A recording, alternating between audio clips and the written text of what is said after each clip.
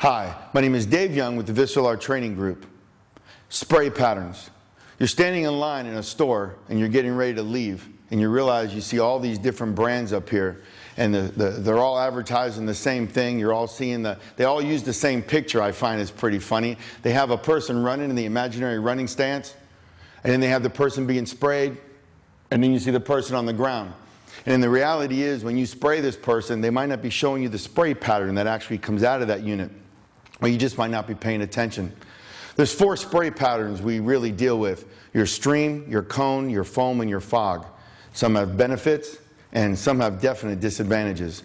So make sure you understand the right pepper spray and the right type of spray pattern that's going to give you distance and some of these things are not environmentally friendly.